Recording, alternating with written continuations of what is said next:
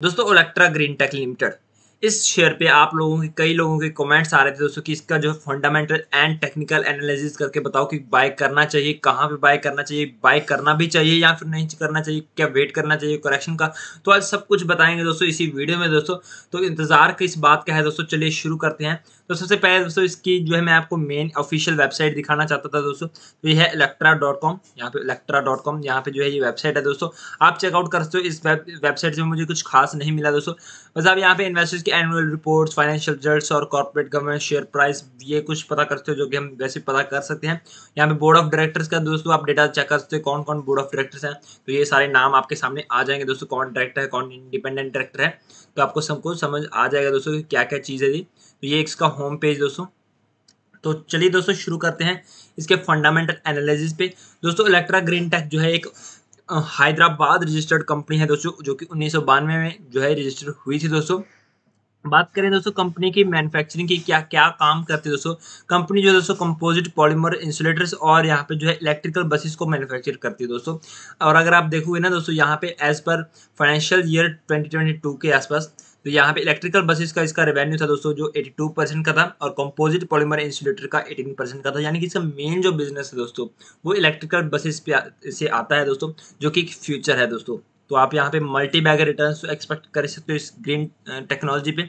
यानी कि दोस्तों इलेक्ट्रिक बस जो है यहाँ पे आपको भी पता होगा, जैसे इलेक्ट्रिकल इलेक्ट्रिक कार्स का इतना क्रेज चल रहा है, वैसे इलेक्ट्रिक बसों का भी आपको पता होगा कि गवर्नमेंट ने पूरा टारगेट ले रखा है कि 2030 तक बहुत सारी जो है बसेस जो है इलेक्ट्रिक हो जाएँगे दोस्तों। तो इस चीज़ में आपका यहाँ पे जो है इलेक्ट्रा ग्रीन टेक लिमिटेड काफ़ी ज़्यादा जो है यहाँ पे योगदान दे सकता है दोस्तों।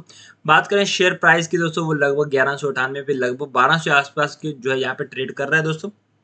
बात करें मार्केट कैप की दोस्तों अठानवे सौ करोड़ की कंपनी है दोस्तों। यानी कि लगभग मिड कैप कंपनी है दोस्तों, दस हज़ार करोड़ के आसपास की इसकी मार्केट कैप है दोस्तों।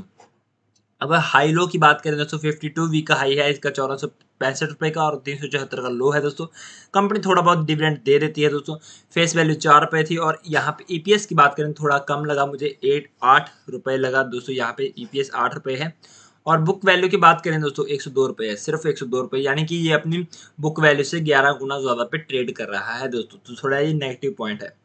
बात करें स्टॉक के पी की, ये भी नेगेटिव पॉइंट है, ये 147 पे है, यानी कि दोस्तों यहाँ पे इंडस्ट्री का पी तो 32 है दोस्तों, इसका 147 है, यानी कि अपने इंडस्ट्री पी से ज़्यादा चल रहा है और बहुत ज़्यादा महँगे वैल्यूएशन पे चल रहा है दोस्तों, आपको यहाँ पे ये ध्यान में रखना है दोस्तों। अब बात करें आरओसी की दोस्तों, तेरह परसेंट है, जो थोड़ी कम है बट एवरेज है दोस्तों आर जो है वो दोस्तों आठ परसेंट है, थोड़ी कम है, ज़्यादा ही कम है थोड़ी। और बट एटलीस्ट नेगेटिव में नहीं है, ये अच्छी बात है। डेट टू इक्विटी रेशियो की बात करें तो पॉइंट सिक्सटीन है, जो कि नेग्लिजिबल डेट है, जो दोस्तों एक सौ चौंतीस करोड़ का डेट दस हज़ार करोड़ की कंपनी में नेगलिजिबल डेट है दोस्तों। कंपनी चाहे तो सुबह या शाम उतार सकती है बट कोई बात नहीं। अब बात करते हैं दोस्तों, इसके और की पॉइंट्स की दोस्तों, अभी देखते हैं कि प्रोज एंड कॉन्स क्या नेगेटिव है, क्या पॉजिटिव है कंपनी में। कंपनी में भी सबसे बड़ी बात है दोस्तों कि यहाँ पे जो क्वार्टरली रिज़ल्ट जो आएँगे दोस्तों कंपनी के, वो कंपनी से एक्सपेक्ट किए जा रहे हैं कि अच्छे होंगे दोस्तों। चलो देखते हैं कैसे होंगे। अभी कंपनी ने जो प्रॉफिट ग्रोथ डिलीवर किया दोस्तों, वो यहाँ पे 49 परसेंट है दोस्तों C A G R over the last five years last पिछले पाँच सालों का सी ए जी आर जो है दोस्तों 49 परसेंट है प्रॉफिट ग्रोथ का। अभी बात करें दोस्तों कंपनी के वर्किंग कैपिटल रिक्वायरमेंट जो है दोस्तों, वो कम हुई है, यानी कि दो सौ उनतालीस से लेके एक चली गई दोस्तों, यानी कि कम हुई है दोस्तों तो ये भी काफ़ी अच्छा पॉइंट है। अभी बात करें नेगेटिव्स की तो ये मैंने आपको बताया कि ग्यारह गुना टाइम ग्यारह गुना ज़्यादा ट्रेड कर रही है ऑलमोस्ट बारह गुना ज़्यादा ट्रेड कर रही है दोस्तों इलेवन पॉइंट सेवन अपने बुक वैल्यू से।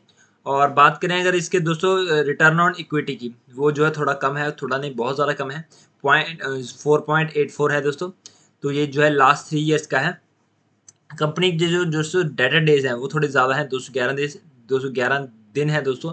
यानी कि दोस्तों कंपनी जो कर्जा चुका रही है दोस्तों, आज कंपनी ने कुछ लिया तो 211 दिन के बाद उसे चुका पा रही है। तो थोड़ा लंबा है दोस्तों ये टाइम पीरियड और जो दोस्तों कॉस्ट ऑफ़ बोरिंग है कंपनी की, वो थोड़ी ज़्यादा है। यानी कि जो डेट लेती है, वो ज़्यादा कॉस्ट पे ले रही है दोस्तों। अभी प्रमोटर्स की होल्डिंग की बात करें तो थोड़ी कम हुई है दोस्तों over the last three years ग्यारह परसेंट से कम हुई है दोस्तों, साढ़े ग्यारह परसेंट से। तो बात करें दोस्तों प्रॉफिट एंड लॉस स्टेटमेंट की। तो यहाँ पे अगर आप सेल्स देखोगे ना सेल्स लगातार बढ़ी है दोस्तों। और अगर आप देखोगे तो लगातार हर साल बढ़ती आई हैं दोस्तों। तो ये एक पॉजिटिव पॉइंट है कि कंपनी का प्रॉफिट नहीं बढ़ा। प्रॉफिट तो एक्चुअली बढ़ा मतलब कहने का मतलब प्रॉफिट ही नहीं बढ़ा। सेल्स भी बढ़े हैं और प्रॉफिट कितना बढ़ा है दोस्तों? प्रॉफिट दो से लेके यहाँ पे जो है, देखिए कितना हो चुका बीच में लॉस में भी गई कंपनी बट सेल्स बढ़ी हैं। और प्रॉफिट जो है यहाँ पे अब इस टाइम हाईएस्ट प्रॉफिट हुआ है दोस्तों। तो यही मैं आपको बोल रहा था, कई कंपनीज़ में क्या होता है दोस्तों सेल्स बढ़ी जा रही होती है प्रॉफिट नहीं बढ़ता बट ज़्यादातर केसेस में क्या होता है प्रॉफिट बढ़ जाता है दोस्तों। बट सेल्स उल्टा कम हो रहे हैं। इसका क्या मतलब है दोस्तों कंपनी सौ रुपये की कोई चीज़ बेच रही है, वो जो है सौ पीसीस बेच रही है, यानी कि दस हज़ार जो टोटल उसका रेवेन्यू हो गया दोस्तों। बट कंपनी ने क्या हो गया अगले साल दोस्तों कंपनी का पचास पीसी बिक रहे हैं वो चीज़। बट कंपनी ने रेट ही डबल कर दिया दोस्तों, दो सौ रुपये कर दिया। तो वही चीज़ सेम आ जाती है दोस्तों। कहने का मतलब सेल्स भी बढ़ी है और प्रॉफिट भी बढ़ा है तो ये एक ठीक पॉइंट है मतलब कोई घपला नहीं है दोस्तों इसमें। और बात करें दोस्तों स्टॉक के प्राइस सी की दोस्तों, दस सालों का इकसठ परसेंट, जो कि बहुत ज़्यादा है, पाँच सालों का तिरतालीस परसेंट, तीन सालों का एक सौ छियासठ परसेंट और यहाँ पे वन ईयर का वन हंड्रेड थ्री परसेंट है दोस्तों। और ऐसे ही कंपाउंडेड प्रॉफिट ग्रोथ भी आप सामने देख ही सकते हो, बहुत ज़्यादा है दोस्तों। बात करते हैं दोस्तों यहाँ पे इसके शेयर होल्डिंग पैटर्न की ईयरली बात करेंगे दोस्तों। इस बार जो है यहाँ पे जून 2023 में है आपको रिकॉर्ड की गई थी जो कि 50.02 परसेंट की है दोस्तों प्रमोटर्स की होल्डिंग जो कि यहाँ पे मार्च 2021 को 55 परसेंट के आसपास थी और मार्च 2020 को इकसठ परसेंट के आसपास थी दोस्तों। यानी कि बहुत कम हो गई है दोस्तों, हालाँकि मार्च 2018 में छत्तीस परसेंट भी थी। यानी कि प्रमोटर उस टाइम से तो एटलीस्ट इसमें ज़्यादा इन्वॉल्व है दोस्तों। एफआईएस की बात करें तो एफ़ ने अपना स्टेक बढ़ाया दोस्तों। हाईएस्ट स्टेक था 2020 में, मार्च 2020 में, उससे घटाया दोस्तों बट कोई बात नहीं एटलीस्ट है और बहुत ज़्यादा है दोस्तों एफ़ का। और डी की बात करें तो डी ने भी अपना स्टेक मेंटेन किया हुआ है, लगभग उतना ही। और यहाँ पे पब्लिक का तो है ही है दोस्तों। तो यहाँ पे नंबर ऑफ़ शेयर होल्डर्स भी आप देख सकते हो दोस्तों, इस बार एक लाख अठानवे हज़ार हैं दोस्तों। तो ये है टोटल दोस्तों इसका फंडामेंटल दोस्तों। अभी देखते हैं दोस्तों, क्योंकि आपको करना चाहिए इन्वेस्ट कहाँ पे करना चाहिए, किस प्राइस पॉइंट पे करना चाहिए दोस्तों, क्योंकि यहाँ पे एफ़ और डीआई दोनों इन्वॉल्व है दोस्तों, सबसे कंपनी का ये मेन पार्ट पॉजिटिव जो दोस्तों, यहाँ पे स्टॉक के प्राइस जो बहुत ज़बरदस्त है। सेल्स और प्रॉफिट भी बहुत हाईएस्ट हुआ है इस बार। और अगर बात करें दोस्तों कंपनी के क्वार्टरली जो रिजल्ट्स हैं, वो भी एक्सपेक्ट किए जा रहे हैं कि अच्छे होंगे दोस्तों। और जो यहाँ पे जो है कई कई फंडामेंटल भी हमें अच्छे लगे दोस्तों बट हालाँकि नेगेटिव की बात करें तो वो है ये दोस्तों, महँगे वैल्यूएशन पे मिल रही है दोस्तों। यहाँ पे जो है हमें पॉजिटिव एक और है कि प्लेज परसेंटेज नहीं है दोस्तों जो प्रोमोटर की प्लेज नहीं है होल्डिंग और नेगेटिव एक थोड़ा सा मुझे नेगेटिव नहीं है एक्चुअली थोड़ा ईपीएस कम लगा बट ठीक ठाक है दोस्तों एवरेज है दोस्तों। तो यहाँ पे यही सारी चीज़ें कंपनी के फंडामेंटल्स में। अभी देखते हैं दोस्तों टेक्निकल की बात करते हैं दोस्तों। तो टेक्निकल में वन डे टाइम फ्रेम पे डेली टाइम फ्रेम पे हम यहाँ पे जो है आ चुके हैं दोस्तों। और डेली टाइम फ्रेम आपके आपके सामने ही खोल दिया है सारा भंडार।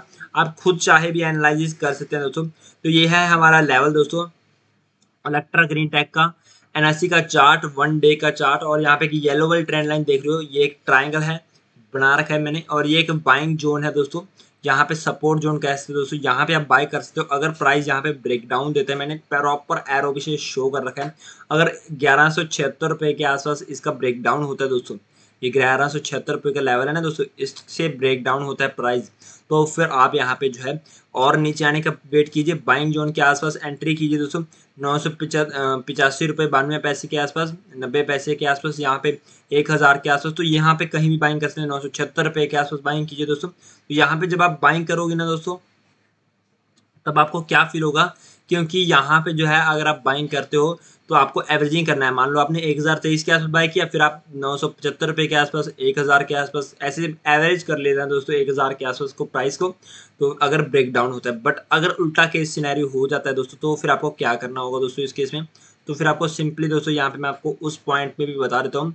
फिर अगर अब यहाँ पे ब्रेकआउट होता है दोस्तों, मान लीजिए ये येलो लाइन का ब्रेकआउट होता है दोस्तों, क्योंकि ये जो दो व्हाइट कलर की लाइन है ना एक चैनल है तो इसका भी ब्रेकआउट होना ज़रूरी है। अगर येलो लाइन का ब्रेकआउट हो भी जाता है दोस्तों तो आपको ये व्हाइट लाइन का जो है ब्रेकआउट होने के वेट करना है दोस्तों, जो कि बारह सौ छप्पन रुपये के आसपास का है। तो फिर आपको एक बड़ी रैली देखने को मिलेगी, तेरह सौ पचानवे रुपये की, जो कि होगी कितने परसेंट की लगभग वो होगी लगभग दोस्तों दस परसेंट की। बड़ी नहीं है बट दोस्तों एक्चुअली ब्रेकडाउन ब्रेकआउट होना चाहिए।